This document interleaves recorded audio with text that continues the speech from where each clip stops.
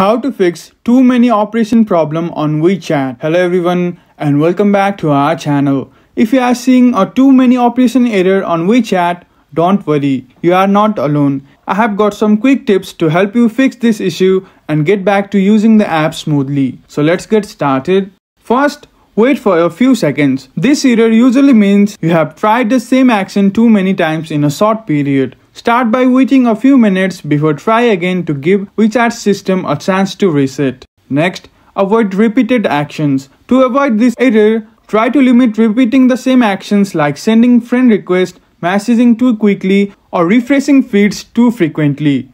WeChat sometimes block repeated action temporarily to prevent spam.